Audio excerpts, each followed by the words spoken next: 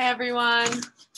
Thanks for joining the Coffee Talk today to hear about our Round River Semesters projects. My name is Wren Garrison, and I will be discussing my preliminary study of the first two and a half years worth of data from Sky Island Alliance's FotoFauna project, in which I broadly analyzed the trends shown by the animals captured in photographs from camera traps set up, observed, and maintained by SIA staff, community volunteers, and ecologists local to the Sky Island region in southern Arizona and northern Sonora. This first slide shows a couple camera trap photos of a bobcat, some white-tailed Coues deer, a black bear, and a couple Cooper's hawks. For some background, the Madrean Archipelago is the most biodiverse region in the United States and was classified by the nonprofit Conservation International as one of 34 biodiversity hotspots worldwide. On this map, the Madrean Archipelago is section 14 at the bottom and you can see how small of a region it is to be renowned for biodiversity worldwide. This project is important because all over the world, the expansion of urban areas is disconnecting the full ranges of animal species and destroying their native habitats. With the shrinking of their natural range and habitat, native species are forced to return to the urban areas they were displaced from in order to survive.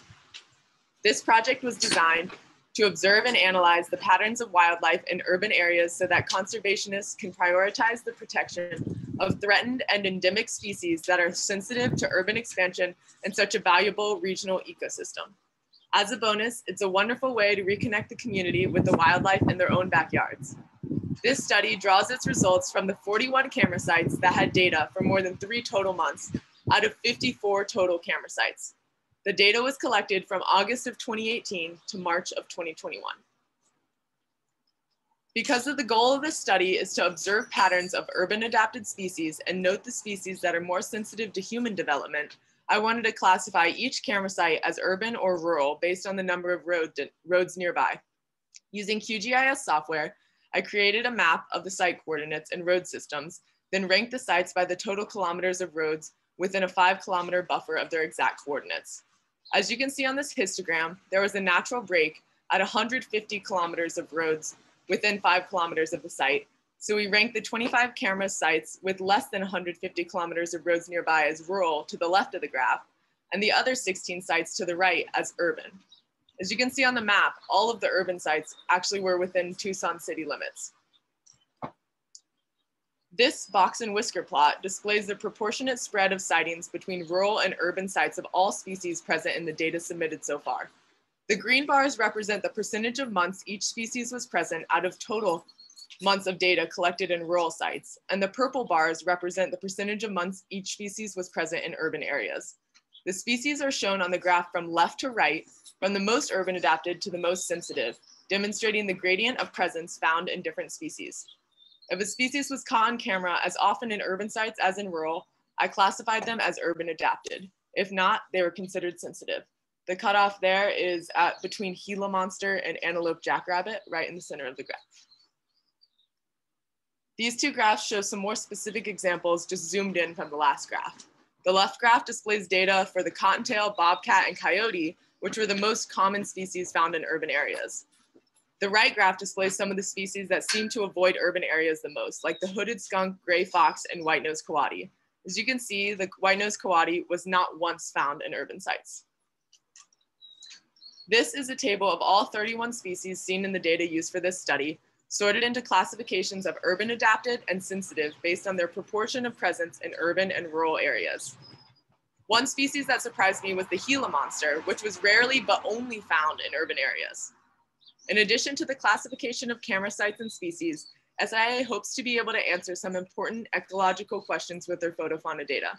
I will go through my analyses of four of their research priorities, which address the statistics of several focal species for each question. First off is the success of species that SIA hypothesized would be urban adapted. Three of these focal species will have a chart like this one that show the percent presence of each species of interest in both urban and rural sites. Each number demonstrates the percentage of months that each species was seen out of all months of data collected at urban or rural sites.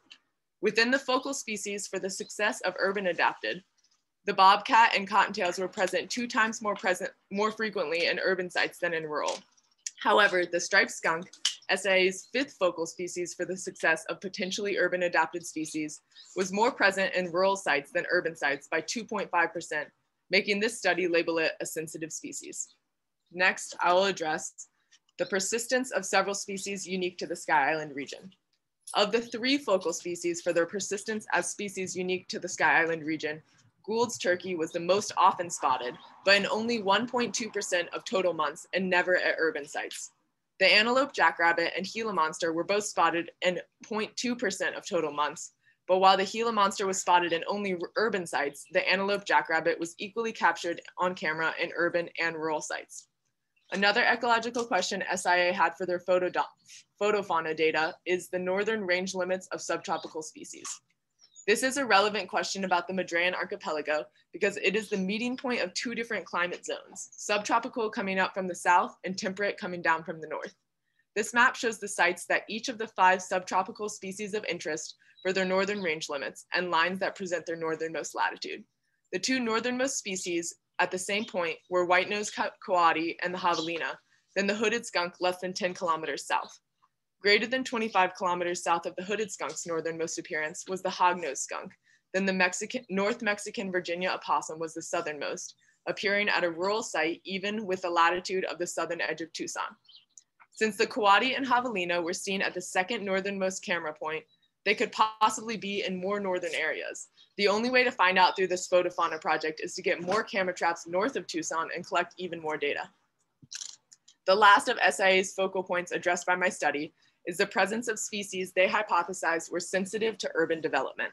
Of the species that are presumed to need undeveloped space to thrive, the ringtail and western spotted skunk confirmed that assumption and were both labeled sensitive species by my study. The ringtail made a few appearances at urban sites, totaling 1.6% of months recorded, but the western spotted skunk never appeared in urban sites at all.